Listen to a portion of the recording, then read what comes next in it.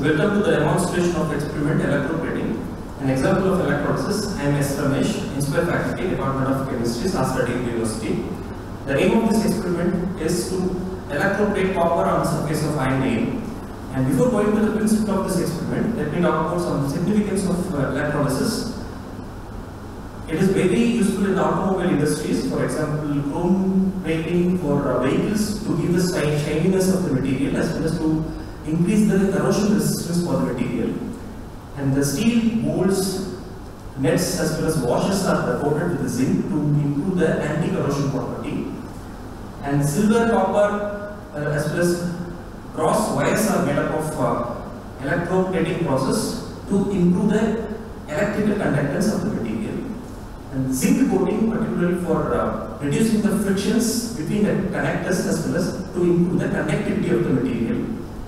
And as the gold again prepared on the surface of copper as well as silver to improve the value of the material as well as to reduce the cost of the material.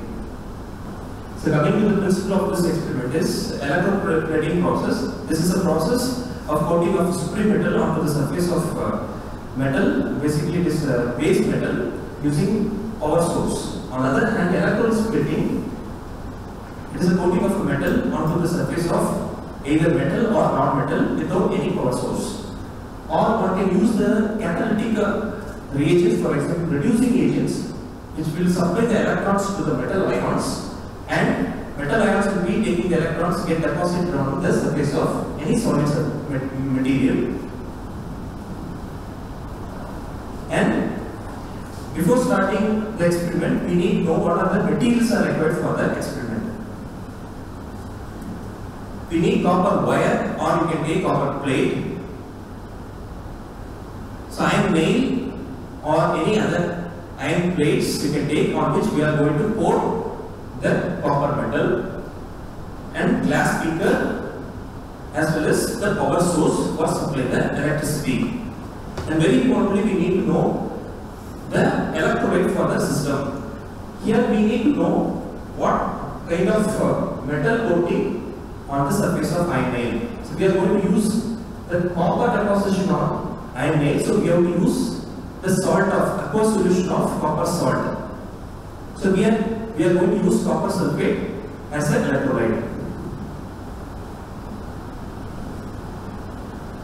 So this is a schematic uh, representation for this experiment.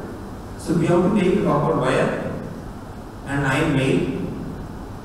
We have to insert into the copper sulfate solution. So before inserting, we have to make sure the copper wire or iron nail should be properly dried as well as washed. And we have to insert into the copper sulfate solution.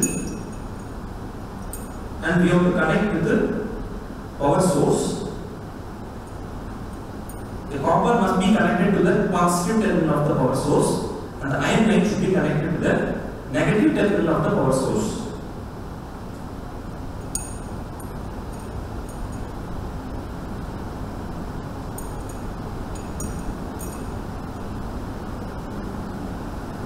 So we have to ensure that these two electrodes should not be touching each other throughout the electrolysis process. And now we can switch on the power source for electrolysis. Here the regulator which we can adjust to increase the rate of current between the electrodes. On the other hand, can start. For that we need a copper sulf- sulfate solution and iron nail and we can simply dip it into the solution. We need not connect to the power source. And coming to the explanation of this experiment, and here the copper, copper is going to act as anode and iron nail is going to act as cathode. The co- copper is an anode, copper is getting oxidized and releasing two electrons that can be pushed by the positive terminal, that, that's what it's clearly indicated, that should be connected to the positive terminal of the battery and one of the electron can be pushed towards to the negative, that means cathode, that can be pushed towards cathode by the negative terminal. And on the surface of the cathode, the electrons can be attracted to copper 2 plus from the solution and copper 2 plus getting reduced by 2 electrons giving copper 0 which is not soluble in the solution will be deposited on the surface of iron main. And the rate of uh, deposition can be varied by the changing the concentration of electrolyte. Here we can change the concentration of copper sulfate or we can change the current flow between the electrodes. And now we can stop the electrolysis process by switching off the power source. Now I am taking out the uh, electrodes. So one can easily see the, the coating of copper on the surface of iron main. On the other hand, still we can see in the electrolysis process the coating of copper on the surface of iron main.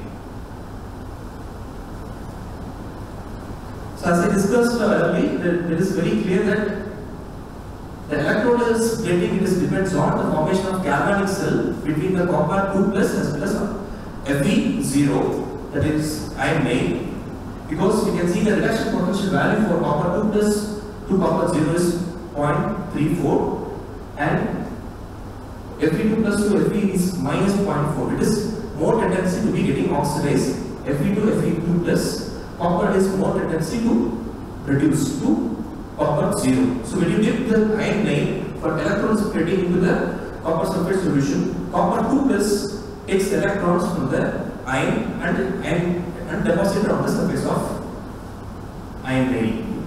And the difference between the electroless plating and electrode plating is, and here we can control the rate of uh, electrode plating on surface by varying the current source or current flow we can adjust the rate of deposition of the iron.